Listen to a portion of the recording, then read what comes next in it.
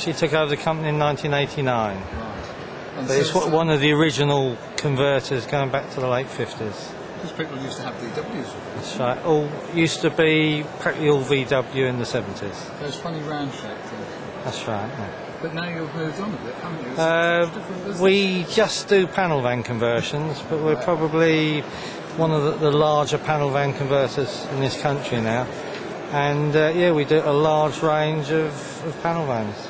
Really. We, we specialise just in panel vans, don't do coach builds.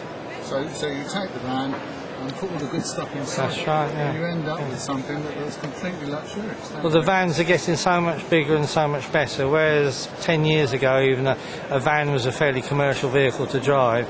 These new ones, especially like this new Mercedes, for instance, they're actually like a luxury car to drive.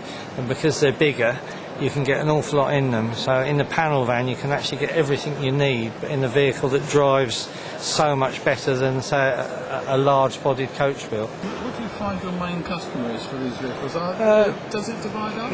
mainly retired people. Right. Retired people thinking about getting retired, going to get retired.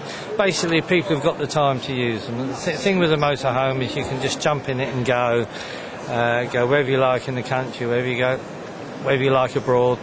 Uh, and the people who've got the time, obviously, are the, the retired or the semi-retired. I mean, younger people with families haven't normally got the freedom to go, or very often these days it costs them money to buy them.